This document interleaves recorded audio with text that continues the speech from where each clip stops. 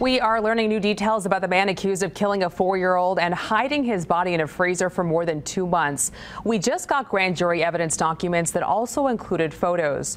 We are choosing not to show some of the photos included, but the one you are looking at here shows the sticky note police say Mason Dominguez's mother sent with her daughter to school in her shoe. Those notes say she was being held against her will.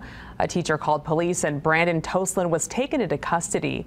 Court documents say Toseland allegedly kept Mason's mother and her daughter away from each other anytime he wasn't around to make sure they did not speak to one another about anything related to him.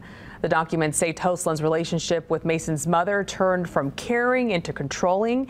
It notes he would control where she would go, what stores she would go to, and what she could spend her money on.